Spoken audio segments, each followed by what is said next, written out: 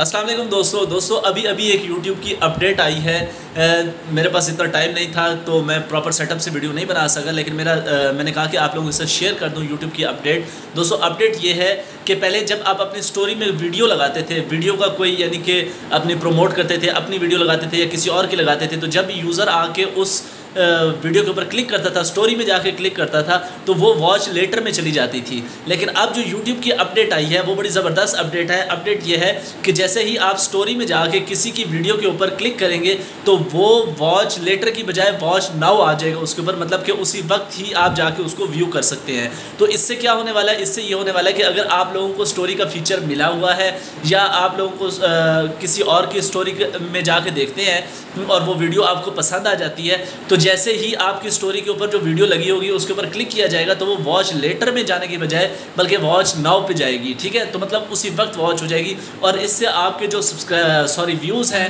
वो रैपिडली बढ़ेंगे मतलब कि स्पीड अप होके बढ़ेंगे। आप लोगों ने देखा था कि जब स्टोरी का नया नया फीचर आया था यूट्यूब की तरफ़ से तो इसके अंदर काफ़ी ज़्यादा फ्लॉस थे, काफ़ी ज़्यादा प्रॉब्लम्स थे और यूट्यूब ने पहले वॉच लेटर वाली बात की ही नहीं थी, ठीक है? मतलब कि उसके ऊपर क्लिक करते थे तो बस वो आपको ना कोई उसका एक्शन नहीं करता था। फिर वो आठ महीने पहले ये अपडेट आई थी कि वॉच लेटर में चला जाता था, जैसे आप स्टोरी में किसी की वीडियो पर क्लिक करते थे, ठीक है? तो यूट्यूब ने कहा था कि हम इसको बहुत जल्द करने वाले हैं कि ये वॉच नाव पर चली जाए, कि मतलब कि जैसे क्लिक करें, उस वक्त वीडियो व्यू हो जाए। लेकिन आठ महीने बाद जाके उनकी आँख खुली और उन्होंने ये अपडेट दिया और अपडेट बड़ी ज़बरदस्त है जिसको हमारी ज़बान में कहते हैं ना, खुश आइन चीज़ है।